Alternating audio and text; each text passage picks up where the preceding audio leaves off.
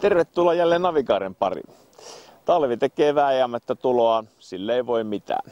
Mennyttä kesää voin vain muistella. Uuden veneilykäyden suunnittelun voi aloittaa vaikka täällä Turussa, Turun venemessuilla.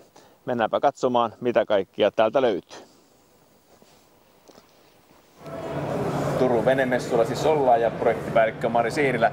Miten messut ovat sujuneet? Messut on sujunut aivan loistavasti. Et siitäkin huolimatta, että toi pakkasukko vähän yritti meitä haastaa ja pisti lunta taivaalta tuossa rakennusiltana, niin täällä on ihan loistava ollut. Ja paljon on näyttelijäasettajia ja paljon on myös asiakkaita. Mikäs tuntuma tuolla rintamalla? No ei voi muuta kuin leviästi hymyillä. Et, et se mitä on saanut tässä kuulla näyttelijäasettajilta palautetta, niin kauppa on käynyt tosi hyvin. Et, et ihan pakko kehasta yksi 10-metrinen vene esimerkiksi myytiin tuossa hetki sitten ja sen jälkeen oli vielä kaksi halukasta ostajaa tullut ja jouduttiin vähän sanomaan ei joota. Ei jootakin on jouduttu myymään. Kyllä.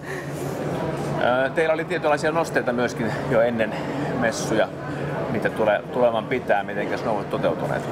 No tämä meidän näyttelyn suurin vene, 40-jalkainen Sansiker Portofino on löytänyt uuden kodin ja hänen luovutetaan tänne Turkuun. Okei, Suomen Turusta. Kyllä, ei tässä voi kuin leveästi hymyillä. Niin pitääkin. Talvi on tulossa ja kesä on jo muinainen muisto, niin siitä huolimatta ajankohta ilmeisesti pitää paikkansa liittyen näihin Turun Kyllä, meillä oli täällä nyt sitten hirveä lista uutuuksia ja ensiesittelyitä, että kaiken kaikkiaan niin kymmenen moottorivene uutuutta ja, ja kaksi purjevene uutuutta. Et ne on houkutellut kävijöitä tänne hyvin. Ja mitenkäs Turussa sitten venemessujen tulevaisuutta jatketaan? No meillä on keväällä ihan ihana huipentuma. siellä on merikutsuu messut maaliskuun alkupuolella ja siinä sitten juhlitaan 50-vuotisjuhlaa.